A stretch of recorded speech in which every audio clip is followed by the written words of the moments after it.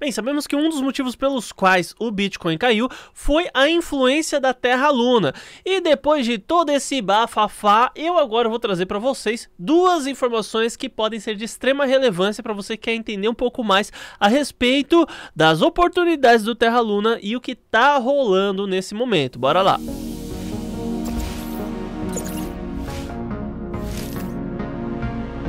Olá pessoal, aqui é o Marcos Eduardo, sejam bem-vindos ao canal Dinheiro Cripto. Desde já te convido a se inscrever e ativar o sino das notificações para ficar sempre por dentro de tudo que acontece nesse mercado e deixa aquele like maravilhoso que tanto ajuda a gente aí. E você quer saber como ganhar dinheiro com Bitcoin, como ganhar dinheiro com criptomoedas e eu estou agora divulgando aí o meu curso de trade. Na verdade, tem mais do que trade nele, né? Mas digamos que o trade seja o foco. Então, se você quiser aprender, se você quiser fazer parte aí de uma comunidade que realmente ganha dinheiro com criptomoedas, te convido a conhecer meu curso que vai ter um desconto aí pelos próximos 20 dias. Então, clica aí nesse primeiro link na descrição. Tendo dito isso, bora lá! Bem, pessoal, sabemos que o Bitcoin despencou pra caramba, teve uma correção absurda e a gente não tem como jogar tudo isso na conta da Terra Luna, obviamente. Mas digamos que eles tiveram uma parcela relevante de culpa. O Bitcoin ele caiu principalmente por conta de que ele teve um período de alta muito grande aí, dentre os períodos de setembro de 2020 até mais ou menos março de 2021. E o que acontece é que ele não deixou muita referência para a gente fazer suporte e resistência, para a gente ir traçando é, tais índices de interesses do mercado. E por conta disso, na hora que ele foi cair, acabou caindo de maneira expressiva. Então, em questões técnicas, né, podemos dizer, olhando apenas gráfico, a gente não tinha muita região. Dele foi bater onde? Onde que é o suporte que realmente segurou a galera? Foi lá o de 2017. Claro que Pode ser que caia mais? Pode o negócio piorar? Claro que pode. Não, não há nada que não possa piorar aqui nessa situação. Mas essa interação que teve nesse preço não é uma resposta que aconteceu aqui em novembro de 2020. É uma resposta de algo que foi formado lá em 2017. Então a gente retrocedeu bem o preço e ó, fique aí é, preparado para o que pode acontecer. Tivemos também instabilidades a nível mundial. A gente sabe que passamos aí pelo Coringa 18 e muita coisa no mundo foi abalada, não necessariamente apenas pelo fato das vidas terem sido perdidas, que é, por si só já é algo terrível, mas as péssimas decisões tomadas aí, infelizmente, pelos governantes acabaram abalando muito a economia a nível mundial e nós estamos falando de um ativo de alta volatilidade em um mercado de incerteza, ele cai pra caramba. É basicamente isso. E eu até já cheguei a mostrar para vocês que existiram outros momentos em que o Bitcoin caiu bem mais do que agora. Se você for ver, né, a gente teve aí é, já quedas de ó, 85%, essa outra queda desse ciclo foi 84%. Esse ciclo de queda aqui chegou a render 70%, 71% na verdade, né? Uh, essa correção que a gente viu aqui, ó, 76%. Até essa correção que a gente teve, ó, daqui de baixo, daqui de cima até aqui embaixo 82%.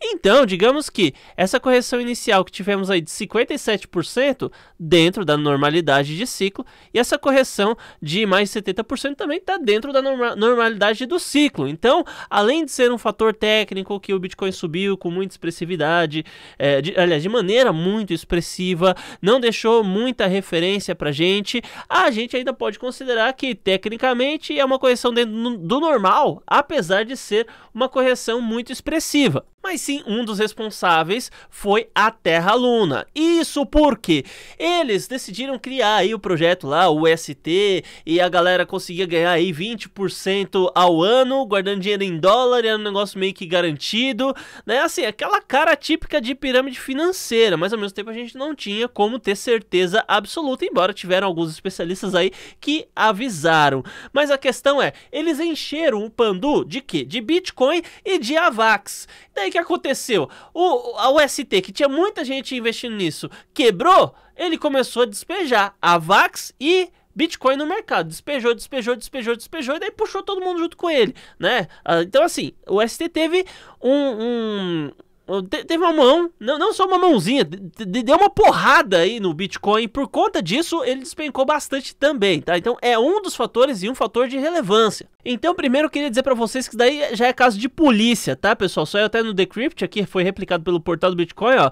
A Interpol aprovou um pedido feito por promotores sul-coreanos para emitir um alerta vermelho é, contra Do No, que é o cofundador do derretido projeto Terra e das criptomoedas Terra Luna e Terra USD, no caso UST, né? E de acordo com as agências de notícias do Bloomberg, não foi acusado de violar regras do mercado de capitais na Coreia do Sul e enfrentar processos legais em várias jurisdições. De acordo com a comunica com a comunicação dos promotores sul-coreanos, um alerta vermelho para o cofundador da Terraform Labs foi emitido, o que significa que as agências de aplicação da lei em todo o mundo agora vão cooperar para localizar e prender o fundador da Luna. Gente, o negócio realmente virou caso de polícia, né? É, é treta isso daí. Bem, e a questão é que é, existem fortes, fortíssimos indícios que apontam que a, a, a, os donos da porcada aí realmente agiram na maldade. Eles viram que o negócio ia colapsar, saíram vendendo e dane-se, tá? Então, esse é o primeiro ponto. Agora, o segundo ponto, que eu acredito que é o que realmente vai interessar você, aliás, vai interessar bem mais, que é o que está acontecendo nesse exato momento. A comunidade está se unindo para tentar ressuscitar o projeto. Eu vou até ler aqui mais um trecho de uma matéria. Ó. A corretora de criptomoedas Binance anunciou que vai apoiar a iniciativa da comunidade da criptomoeda Terra Classic, ou Lunk, enfim, e implementar um mecanismo de queima das taxas de negociação em sua plataforma. Todas as transações de Lunk, antiga Luna, haviam passado a cobrar 1,2% de tokens, cobrança chamada Burn, é, Tax, enfim, não, é, desculpa a pronúncia aí, para que os mesmos saiam de circulação. Abre aspas. A quantidade específica de Lunk a ser queimada, seu valor equivalente em USDT e o ID de transação no blockchain serão atualizados a cada semana neste anúncio até o novo aviso, disse a equipe de suporte da Binance. E segundo nota, o período de, é, de validade né, já começou, né? Ok.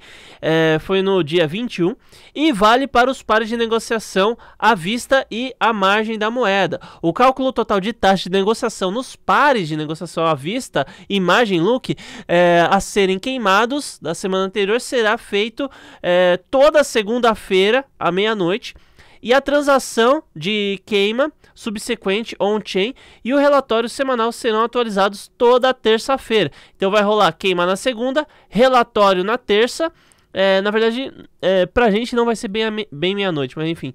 É, vale lembrar que o fuso horário TC é, perfaz 3 horas a mais do que no Brasil. Então, na verdade, pra gente vai ser o equivalente a 3 da manhã. Bem, mas tudo isso de, pra, pra dizer o seguinte: com a redução da oferta, da quantidade de moedas no mercado, a gente pode ter, por consequência, um aumento exponencial. Claro que Presta atenção nisso. Nenhuma moeda, nenhuma criptomoeda, aliás, especificamente, consegue manter uma alta a médio e longo prazo sem que o Bitcoin esteja voltado para uma alta a médio e longo prazo. Então, a gente vê aí fenômenos de o Bitcoin está caindo, ou está lateralizado, e algumas moedas que sobem, sobem, sobem, sobem, sobem. Mas, gente, Enquanto o Bitcoin não subir de vez, ninguém, ninguém, tipo o Bop, já assistiu o Bop? O Bop chega lá no pé do morro e fala, não vai subir ninguém, mais ou menos isso, né? Pode ser que uma ou outra tenha um destaquezinho e tal, mas no fim das contas, se o Bitcoin não sobe, ele não deixa subir ninguém.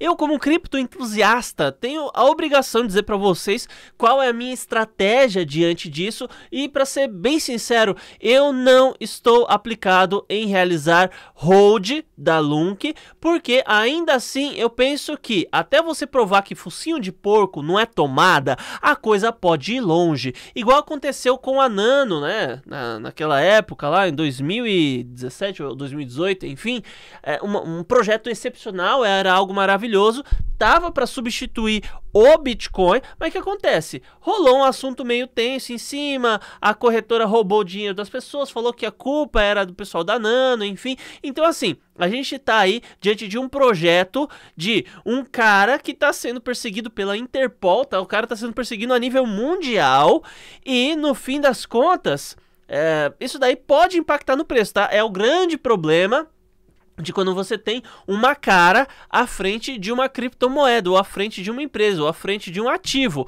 Se esse cara tá indo bem na sociedade, por consequência, esse ativo pode ir bem, não que ele vá, mas ele pode ir bem. Agora, se tem uma imagem ruim atrelada, cara, é difícil ressuscitar. Então, se for pra gente operar com Lunk, tá? Que é coisa que eu também não tenho o intuito de fazer por agora, é operar mais voltado para o scalp e para trades mais rápidos, tá? Não forçar um day trade, obviamente, porque não faz parte do meu método isso, mas buscar oportunidades nessas oscilações mais rápidas aí de mercado. Mas agora coloca aí nos comentários o que, que você pensa a respeito disso. Vale a pena rodar Lunk? Você vai tradear? O que, que você vai fazer em relação a isso? Bem, não esqueça de se inscrever, ativar o sininho das notificações, deixar aquele like maravilhoso. Muito obrigado por ter assistido e até mais.